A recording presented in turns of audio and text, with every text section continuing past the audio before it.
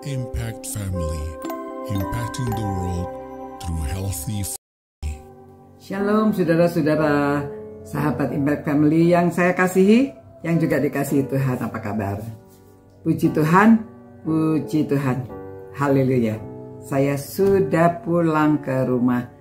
Nah saya e, menyampaikan ini karena ada banyak teman-teman yang bertanya ya. Saya di rumah sakit, saya sudah pulang, dinyatakan boleh pulang, namun belum sembuh betul, masih dalam pemulihan.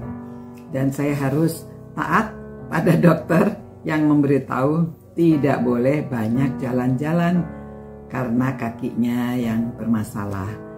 Dan ya beberapa teman menertawakan karena saya sering bepergian dan mereka bilang ya harus istirahat. Harus nurut ya sama dokter obat diminum dengan setia dan juga bagian saya yang harus bisa saya lakukan harus saya lakukan. Karena dokter hanya memberitahu dia tidak bersama saya dia tidak tahu apa yang saya kerjakan. Kalau saya tidak taat mengikuti uh, apa nasihat dokter mungkin sulit untuk dipulihkan kembali. Nah saudara-saudara saya pada saat ini juga uh, hati sedih sekali karena ada seorang teman saya yang sedang sakit agak um, ya keadaannya agak sulit karena kondisinya yang sudah menurun dan sulit bernafas. Wah, mencari rumah sakit, di rumah sakit juga penuh saudara kadang-kadang itu hidup itu memang demikian ya.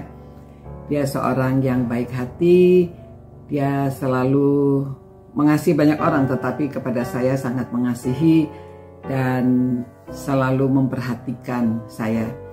Namun saat ini dia sedang sakit, jadi saya juga ingin menghibur. Lalu apa yang bisa dihiburkan saudara ya? Manusia itu bisa kadang-kadang tiba-tiba saudara hidup ini ada beberapa hal yang tidak bisa kita rencanakan. Yang pertama, kita mau dilahirkan dalam keluarga siapa tidak bisa direncanakan. Kapan kita dilahirkan kita tidak tahu. Dan kapan kita pulang ke rumah Bapak kita juga tidak tahu. Semua itu di dalam tangan Tuhan. Ya. E, namun apa yang bisa kita lakukan, bagian kita kita lakukan, kita taat. Jadi ada orang yang sehat, tidak berpenyakit, dia sedang jogging, eh, lari-lari, jatuh dan meninggal. Ya.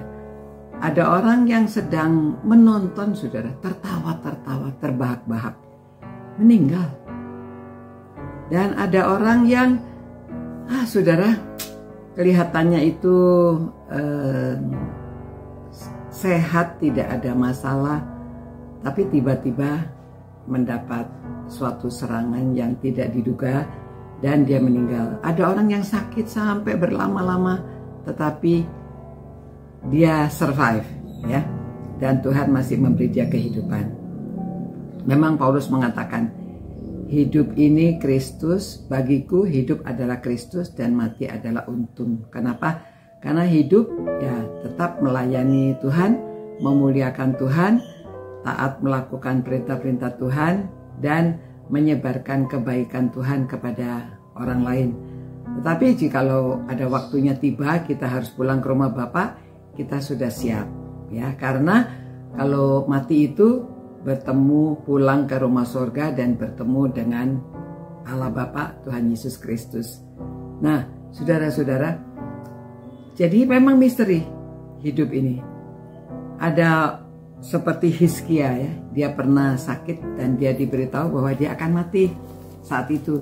Namun dia berdoa begini ya, di dua raja-raja pasal 20 ayat 3 dia mengatakan, "Ah Tuhan, Ingatlah kiranya bahwa aku telah hidup di hadapanmu dengan setia. dan dengan tulus hati dan bahwa aku telah melakukan apa yang baik di hadapanmu. Ya. Kemudian menangislah dia. Hiskia uh, menangis dengan sangat, ya. Pada waktu itu Yesaya yang memberitahu bahwa dia akan meninggal. Lalu setelah itu uh, Yesaya berpaling dia mendapat firman Tuhan yang mengatakan begini, ya.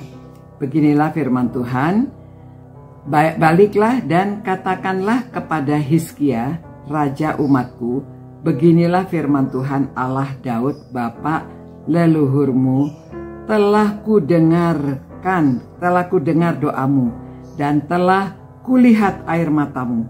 Sesungguhnya aku akan menyembuhkan engkau pada hari yang ketiga engkau akan pergi ke rumah Tuhan. Dan bahkan diberitahu di sini ya bahwa dia umurnya akan ditambah lagi 15 tahun. Nah saudara kita tidak mengerti ya. Uh, dia hanya menangis, berdoa dan minta Tuhan uh, supaya ingat ya bahwa dia sudah melakukan perintahnya, dia sudah melakukan uh, dengan setia dan dengan hati yang tulus kepada Tuhan. Ada orang yang berdoa bertalu-talu, tetapi sakitnya tidak disembuhkan. Saudara semua ini adalah misteri dari uh, rahasia Tuhan. Kita tidak tahu, ya.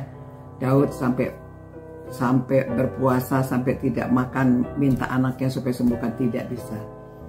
Dan Ayub yang sakitnya sudah luar biasa dari kepala ujung kepala sampai ujung kaki, tetapi dia disembuhkan bahkan dipulihkan um, apa hartanya dikembalikan, keluarganya dikembalikan.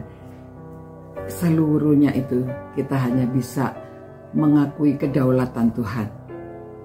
Nah, saudara-saudara, mari kita um, bersama-sama tetap berdoa, tetap setia pada Tuhan, tetap percaya sepenuhnya akan kedaulatan Tuhan. Apa yang terjadi adalah kuasa dari Tuhan.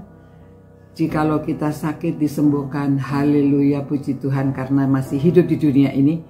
Namun jikalau kita harus dipanggil pulang, kita juga haleluya puji Tuhan karena pulangnya ke rumah Allah Bapak.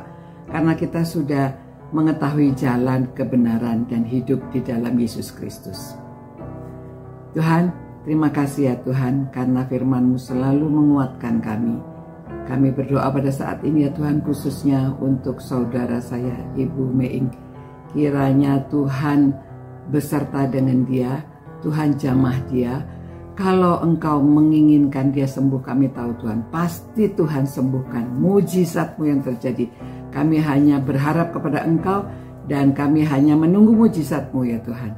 Engkau jamahlah dia, engkau sembuhkan dia. Dan saya berterima kasih sudah bisa pulang ke rumah. Kiranya Tuhan tolong saya juga akan setia menjalankan perintah-perintahmu, setia menjalankan nasihat dokter. Ya Tuhan, berkatilah semua orang yang merenungkan firman-Mu ini supaya mereka dikuatkan dan mereka akan hidup lebih mengasihi Tuhan. Dalam nama Yesus kami berdoa. Amin. Ya saudara-saudara, Terima kasih atas doa-doa saudara untuk saya juga.